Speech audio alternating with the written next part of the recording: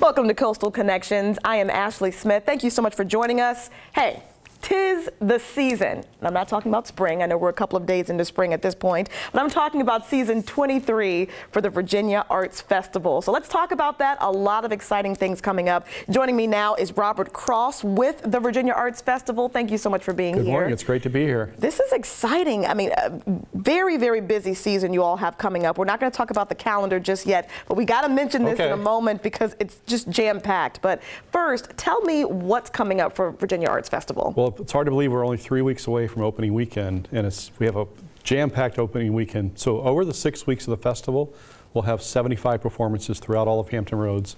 But that first weekend is concentrated in downtown Norfolk. So we open April 12th with Kristin Chenoweth, okay. amazing, amazing Broadway star. So I'm going to ask you a trick question. Uh -oh. You probably don't know what her very first thing that she did on Broadway. No. so Charlie Brown. So that's her every, first thing. Everyone knows her from Wicked. Right. She was Glinda in Wicked, but her first thing where she won her first Tony Award was Charlie Brown when she was a kid. What was she in Charlie Brown? No, now you trick question ah, there me. We go. Threw it back on you, didn't yeah, I? so she'll be opening night with the Virginia Symphony. Okay. Doing all the great Broadway hits, a couple surprises. And then the next night we have Storm Large, this amazing cabaret singer, rock singer, a little funky. We'll have her at Granby Theater. And then we close out that weekend with Jessica Lang Dance, probably the most important female American choreographer. Wow. She'll be here with her company, and that will be in Chrysler Hall. And it's going to be a spectacular way to uh, kick off that first weekend. It's just it, there's so much jam packed into this season, and I know that I mean that's just the beginning of what you said six weeks, right? Six weeks of, yes. of this festival. Like it's so exciting. I understand you have a new director of chamber music as well. Tell me about her. So Olga Kern. Uh, so Andre Michel Schub was our director for the first 20 mm -hmm. years of the festival, and he retired this past year. So Olga Kern's kind of continue the uh, the tradition. So she's the 2001 Van Cliburn Gold Medalist. Wow. She's uh, Russian American, uh, dual citizenship. She okay. splits her time between New York, Prague, where her husband lives, and um, Russia, where her parents still live. Oh my goodness! So she's on the road a lot. Yeah. So she'll curate the whole uh, 20 concerts of the chamber music series, bringing in a bunch of new faces. So we'll kick off with her on April 18th at the Roper Theater. She'll do a solo recital, and then she's doing five chamber music concerts over the, the next weeks of the festival. Oh my goodness! Ma amazing player, really personable uh, loves working with young people, so she'll do a master class for talented young pianists later in the festival. Oh my gosh. So I mean, just I'm sure her presence in itself is going to bring a lot of newness Absolutely. and excitement to the festival, but I'm sure there are a lot of just can't miss moments in general with the festival. So tell us just a little bit. Don't give us everything. Okay. Just a little bit. well, you were looking at the dance uh, yeah. series uh, where dance is a big part of the festival. So we mentioned uh, Jessica Lang. Later in the festival, we have Pilobolus, this fantastic company does really crazy stuff. You saw the contortions they're doing on the yeah. cover.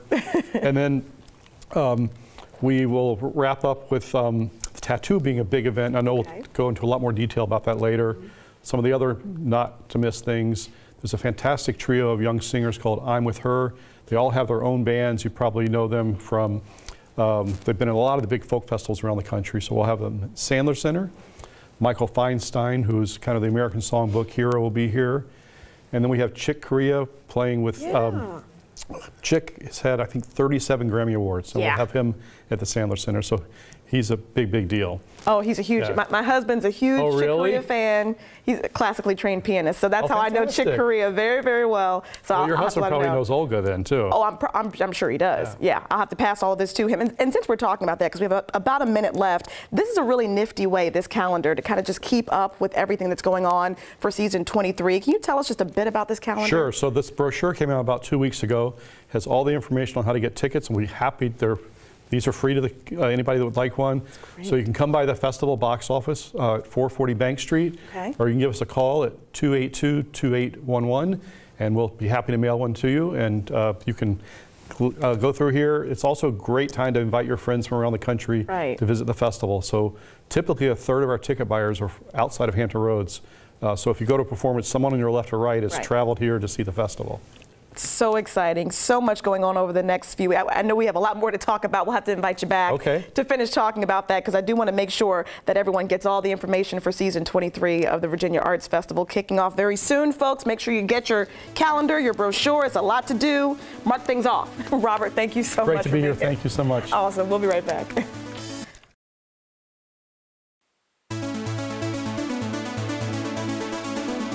Welcome back to Coastal Connections. You know, now that we've gotten past winter, we're getting into spring now, and you know, depending on what day we're talking about, might be cold, might not be. So what we're going to talk about now is once it starts to really warm up, we got to prepare for how things are going to be shaping up outside. And there is a wonderful show that's coming up, the Mid-Atlantic Home and Outdoor Living Show. You got to be a part of this. You got to find out more information. So joining me now, uh, good friend Jeff Bruzzese. Good to see you again. Nice to see you yes. again. It's a pleasure to be back. Absolutely. It's that time of the year. Yes, it is. We got to start getting home and outdoor ready. So what can we expect at the 34th annual show? Well, Ashley, it's that time of year when people are starting to think about remodeling inside and outside. Mm -hmm. So this show, I think, is uh, one of the best shows that the area presents.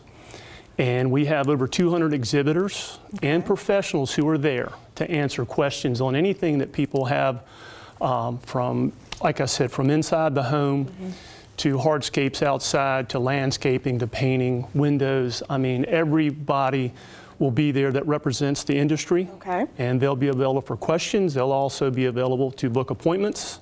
So it's, it's kind of a must do for people that are considering any kind of home improvements. Absolutely. And I understand that Dr. Lori is back by popular demand. Popular demand, yeah. Um, she is very popular. You know, she's a world renowned antiques appraiser. Mm -hmm and she's also the celebrity host of The Curse of Oak Island. Mm -hmm. Hugely popular. That's on the, uh, the History Channel, right? It is. It's yes. the number one show on yes. the History Channel, actually. so she'll be doing two shows Saturday and two shows Sunday. Okay, okay. And we're asking people to bring their collectibles and antiques and to come sit in the front row, and she is guaranteed that she will get to everybody. Oh, really? Okay. And appraise their collectibles or antiques. Now, last year, I got to tell you this. This is pretty cool. Somebody brought in a $250 painting that they had bought, mm -hmm. and they just by chance brought it to the show, and she appraised it for over $200,000. oh no. yeah. okay, I have like, a question. Wow.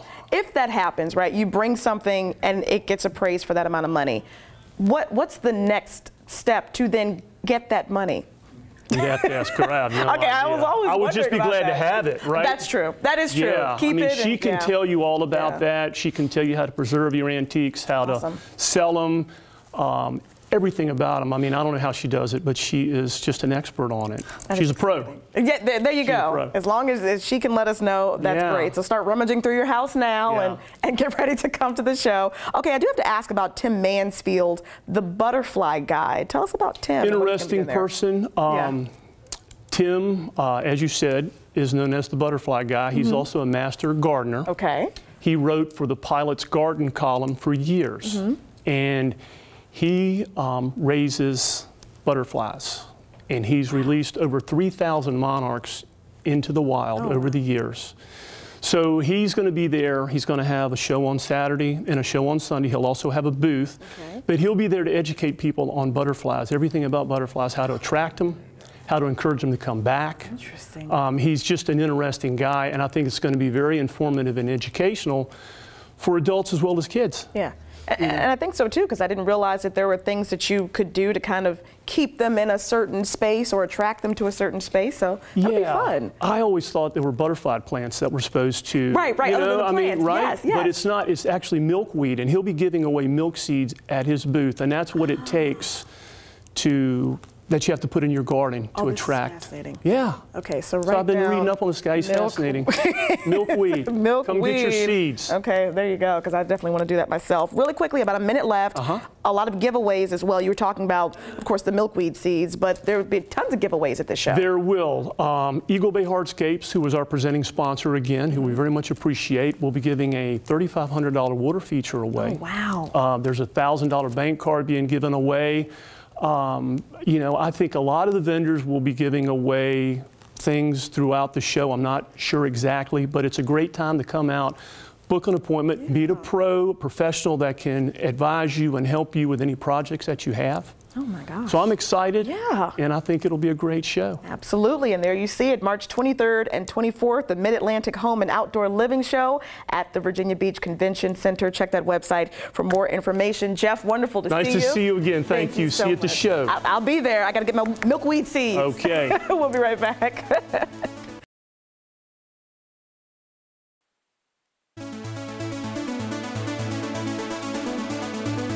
Welcome back to Coastal Connections. Okay, Easter is right around the corner, but don't worry, MacArthur Center has you covered. So many events coming up for March and April. So joining us now to talk more about it is Karen Husselby. Wonderful to see you, Karen. Thanks for having me back. You've been busy yet again getting ready for Easter and spring in general, and I'm sure you're gearing up for summer already, but we'll talk about what you have going on for Easter at MacArthur Center. Okay, perfect. So yeah, so the Easter Bunny arrives on March 29th, nice. hops into center court where he'll be through April 20th. Um, if you haven't been to MacArthur Center for Easter before, we have this adorable set called Bunnyville.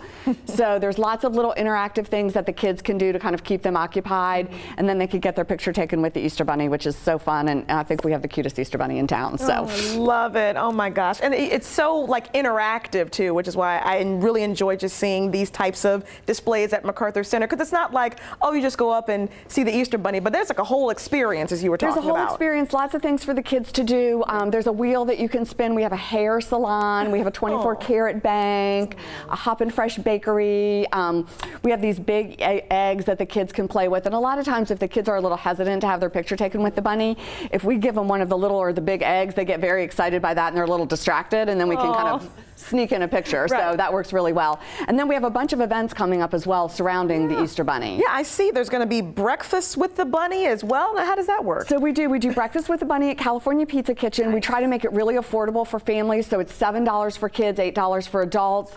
Um, and we do breakfast pizza and the Easter Bunny is there so you can take all the pictures you want with the Easter Bunny. The kids can have lots of time. It's um, maybe sometimes a little bit more relaxed and casual environment. Yeah. So there's a little bit of room for the kids to kind of move around and kind of get comfortable with the Easter Bunny. And so that's always really fun. And then we have story time with the bunny. Nice. Um, and we're actually doing that with Barnes & Noble and we're reading How to Catch the Easter Bunny. Um, but one of the really cool things that I wanted to mention is that we're, um, we have a sign language interpreter as well. Mm. So the story time is for deaf and hard of hearing kids okay. along with hearing kids. So we'll have somebody on site who will be doing sign language interpretation of the book. So we're very excited. We're doing a whole series with Barnes & Noble um, that way. So we're trying to make everything we do like super inclusive. That's wonderful. Um, yeah. And yeah. then speaking of inclusivity, we're also doing Calming Bunny. Yes. Um, and that's on April 7th. April 7th, yes. Um, and we're doing that from 9 to 11 in the morning. And that's for kids with autism and special needs. Okay. So we do ask that families pre-register because we like to give them a little bit of extra time. So we kind of do it in 15 or 20 minute blocks. Um, we have everything is very soft and quiet. So we have a very calm environment for the kids that might need a little bit of extra time. And that's been a very popular event that we've done. So if, if folks are interested, I would encourage them to go to our website and sign up soon so that okay. we don't book up. Um, okay. Um, but we're excited about that too. Absolutely. You know, MacArthur Center is so wonderful about making it uh, just accessible for all kids. You know, I, th I think it's wonderful that there are so many events that will cater specifically to your child. Yep. So that's great. And of course, we have to talk about our furry babies as well. we have four-legged children too. Four-legged children. Yeah, absolutely. Tell me about um, that. so that night um, on the 9th, we'll do, um, or sorry, the 7th, we'll do pet photos um, with the bunny. Okay. So you can bring your dogs and cats, and we'll see how they all, all the animals get along. Hopefully everyone gets along well in center court. Um, but it's a special time for people that um, want to bring their animals to take pictures. And families can come as well. So that's a question we get a lot is, like, is it just my dog, or can it be mom, dad, the kids, and the dog or the cat? And it's a whole family experience. So we're happy to include everyone that wants to be in the picture. It's wonderful. Karen, we have about a minute left. Um, after all of the Easter festivities, what's going to be next for MacArthur Center? So one really important event we're doing is with the YWCA. We're doing the annual Walk a Mile in Her Shoes event. Mm -hmm. um, and if you don't know, that's a really a men's march. It's to raise awareness about um, domestic violence and gender discrimination. And so it's when all the guys wear high heels. Right. Um, so that's the Walk a Mile in Her Shoes, and they walk around center court. Um, and it's a really great event. We try to put kind of a fun spin on a yeah. very serious issue. Yeah. So would encourage people to either to go to our website or the YWCA's website um, and get some information about that important event as well. That's awesome. Karen, thank you so much. We're going to throw up the information one more time for you. A lot going on between March and April for Easter, but of course the fun continues quite frankly throughout the year. So make sure you keep up at shopmacarthur.com for more information. Karen, wonderful to thanks, see you again. Thanks for having me. thank you. We'll be right back.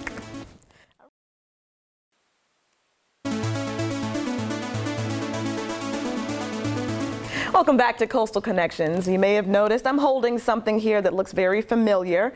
It's that time of the year to start talking about the pinwheels. I have a pinwheel bouquet here, but you know, there's a bunch of pinwheels in here. You normally see them uh, just throughout the area around this time of the year. And if you always wondered what they were about, we're going to talk about that right now. Joining me is Season Roberts from Virginia Beach CASA. Thanks for having me. Thank you for being here. And Devin Cowie with Grow Smart. Wonderful to see you guys both. You. This is a wonderful campaign. It's something, uh, again, that the, the pinwheels just kind of kick everything off because people are wondering what's going on, what's with the pinwheels. So let's talk about, Season, what these pinwheels are all about. So April is National Child Abuse Prevention Month, and the pinwheel is a symbol for child abuse prevention because it's whimsical, it's carefree, and so kids shouldn't have to be going through abuse through their life. And so throughout the month of April, Virginia Beach CASA, we plant pinwheels throughout our community. You'll also see them around Hampton Roads. Um, people join together because they want our they want everybody to know what our community is doing to prevent child abuse. It's also the month of the military child, and so we partner with Grow Smart to um, host the Celebrating Children Pinwheel Palooza. And I think Devin's going to talk a little bit about that. Because it's a new collaboration, right? It is. So Celebrating Children has been happening for quite some time, and Grow Smart took it over in 2016. And Grow, uh, Grow Smart and CASA decided to come together to combine our two events since we're honoring both um, Child Abuse Prevention Month and Month of the Military Child and just kind of make it a bigger and better event each year. It's at Mount Trashmore and it includes a fun run for our kids and it's just a lot of fun to have out there and it's completely free for families. That's kind of the, the part that we really hone in on is that it's free and it's a community event. Yeah, I was out there last year, and I tell you what, that fun run for those kids, I mean, they look forward to that thing. They were so excited about it, but that's just one of, oh, hello, Ashley. Um, it really is just one of so many events that are out there. There was a, a petting zoo, I think, and then one of the really cool things I noticed too were there were lots of um, like student performers that were out as well. Can you tell me about that? Yeah, so this year we're going to have the hurrah players come back, and I think that's really engaging and interactive for the kids because they can see somebody else doing something that they might be scared to do.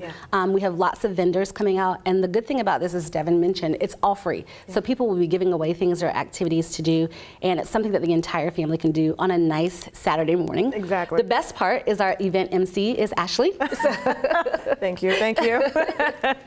But it'll be nice to um, see two nonprofit organizations Yeah. come together just to collaborate resources to make a bigger impact in our community. Yeah, and what do you both hope that the message is that people get from this? I mean, obviously, you know, it's Child Abuse Prevention Month, month of the military child, so there are those two messages for sure. But will there be uh, will there be like packets of information or things like that that people can kind of take with them? So Yeah. go ahead. Sorry. Sorry, the exhibitors are actually family resource exhibitors. So really showing our families what um, resources are out there from activities to do as a family, of resources that city departments have for our families. So we and they are giving out tons of information. They are all doing children's activities. And so it's just really showing our community what our city has to offer across the board, from banking to city departments to fun activities with soccer or any kind of sports happening in the city. That's awesome. Now we have about a minute and a half left. Um, season, because I really meant to ask you this at the beginning, but I just want to dive into the pinwheels here, and you can understand why. But tell us about Virginia Beach CASA, because not everyone is familiar. Right. So CASA stands for Court Appointed Special Advocates. So when kids are abused or neglected and they're going through the court system, we partner them with the CASA volunteer who's there to make sure that they're not languishing in foster care, they're not continuing to be abused. And our goal is to identify a safe, permanent home. Mm. And so we have about 80 CASA volunteers on our roster. They're people from all walks of life mm. who just want to help children or family groups in this area. And our results say that kids with a CASA volunteer do better in school. 91% of them do not return into the system. And our goal is to make sure that once they get in that safe permanent home, they're not coming back either as kids or as parents with kids. Absolutely perfect. Thank you. And then Devin, more information about Grow Smart. Virginia Beach Grow Smart is the City of Virginia Beach's early childhood initiative. So our vision is every child will be born healthy, enter school ready to learn, and reading proficiently by third grade. And so we are actually in, housed in the Department of Economic Development. We really, as a city, believe that it's the workforce development pipeline supporting the current workforce, but also building our future workforce for 20 years from now. It's awesome. Just listening to you know both of the descriptions here. It, I mean, this really is a match made in heaven for this Perfect event. marriage, yeah. It really is. Seriously. Let's throw this information up one more time, just so people can know when the Pinwheel Palooza will be. There you go, April 27th from 9 to 12 at Mount Trashmore Park. It's going to be a blast. It's always a blast, and we certainly hope that everyone can come out and support. A lot going on for the month of April. Ladies, thank you so much for being here. I will see you April 27th. Yes, you will. Wonderful. Thank you. We'll be right back.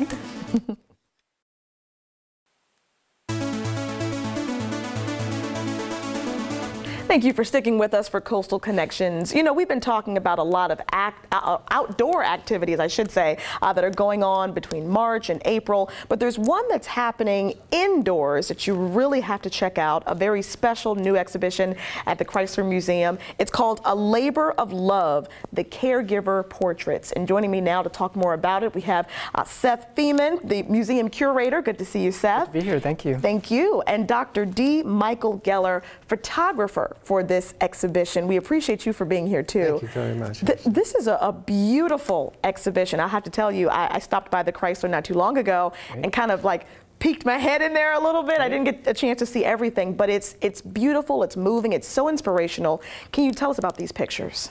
These pictures were made in the homes of caregivers, so in the space of about a half an hour or longer, mm. uh, you can experience caregivers in their homes uh, through their pictures, photographs, and their stories. Wow. What, what made you think to take these pictures? Yeah. It came because in my practice, I often saw caregivers bringing in their loved one, my patient. Mm -hmm. And I discovered that the caregivers are tremendously knowledgeable about their loved one. I see them, it's a slice, an important slice of experience in their lives. They're with them 24 by 7. Yeah. And so they have a wealth of knowledge and experience that informs me as a caregiver myself through my profession to help them. Yeah. What, what moments were you hoping to capture when you were taking these pictures? Were you looking for particular moments that happened between the patients and the caregivers? In a sense, I was. It's about their relationship mm. and what they value together, whether it's a devotional, whether it's an arts and crafts situation or a game, it's what means the most to them. And so what I would do, I would get to know them first. I would visit with them. What is your life experience like? And go from there. Absolutely. Wow. Uh, Seth, tell me how this exhibition came to the Chrysler. How did that whole thing come about? Yeah, it was really a great, a great uh, coming together. Uh, I was introduced to Michael, and uh, we were just going to talk about his work mm-hmm. originally, mm -hmm. and he brought his portfolio in, and he showed me work. And before he left, we'd agreed to have a show. It just wow. seemed very clear to me that this work not only is it incredibly strong, but it's got this incredible connection to people. That people are going to see it and they're going to identify with the images, uh, see something that they've experienced or something that they know about. Uh, and we've seen that since the show's been open. People come in, and a lot of times they might not have a name for what they've done in their own lives, but there's the word caregiver. They're people who are doing this every single day. Uh, and it's been really phenomenal to have people come in and see these images and have this sense of connection. Yeah, I was actually going to ask more about that because I, I, feel like the way that exhibitions are set up, it, it's it's for an overall experience and for uh, people to take in the images a certain way. So, Seth, what do you hope people will be able to get from the way in which the exhibition is set up? Yeah, my, Michael and I worked really closely together. So he, he sort of took stories from the caregivers and their loved ones um, and had, had, kind of written them up. And we worked together on um, slimming them down so they could fit on the wall. Um, but you get this really interesting insight into people's lives, and they, they really work hand in hand with the images. So you, you go in and you look at a very striking image, and then you read the story and understand something about the dynamic between the caregiver and the loved one mm -hmm. that you might otherwise not understand or not see. Um, and one of the things that's been really rewarding about this show is seeing people spending time in the gallery. You know, it's easy to kind of look and look and look, but when you go in there and you start reading the stories, it's captivating, and you want to know more about these people, and you want to know more about their lives, uh, and the photos really pull you in to do that. Absolutely. If, you, if you've ever had to care in any capacity for a loved one, certainly going to affect you being a part of this exhibition. Dr. Geller, have any of your patients or uh, their caregivers mentioned anything to you after they saw the images that you took? Yes. Uh, right, short answer. Right? right, short answer is yes. And uh, one comes to mind in particular. Uh, she's been a caregiver for her husband for many years. Mm -hmm. She's not in the exhibit, mm -hmm. so she's a visitor. And she walked in and she said, This validates me. Wow. This tells me that I'm not alone. Mm. That there are many others out there who have had experiences like mine. Absolutely. And taking care of the one I love. Mm. Wow. It's, it's just got to be powerful to communicate with them and, of course, see all the people who go through the exhibition and are touched by it. We want to throw the information up one more time. It's through June 23rd at the Chrysler Museum, and you can get more information at chrysler.org. Dr. Geller, thank you Oh, so thank very you. My much. privilege. And Thank you Seth, so much. Thank wonderful you. to see you. Great to and see you. thank you so much for joining us for Coastal Connections. Have a wonderful Sunday.